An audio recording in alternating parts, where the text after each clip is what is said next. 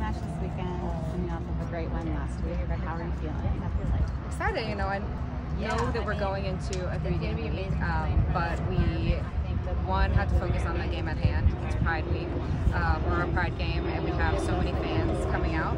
So we're just excited to hopefully put on a show. I think every single week, every single game, the team seems to be gelling a little bit more and more together. Um, so I'm excited to see what we do.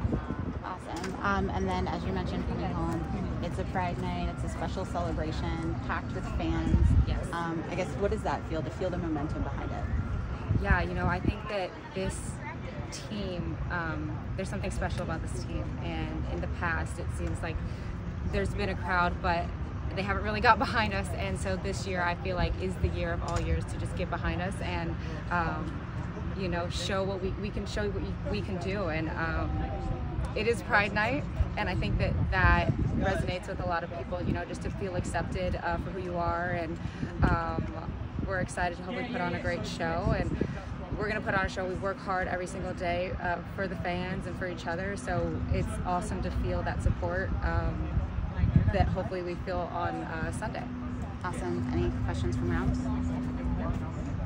All right. Cool. Thanks. Thank you.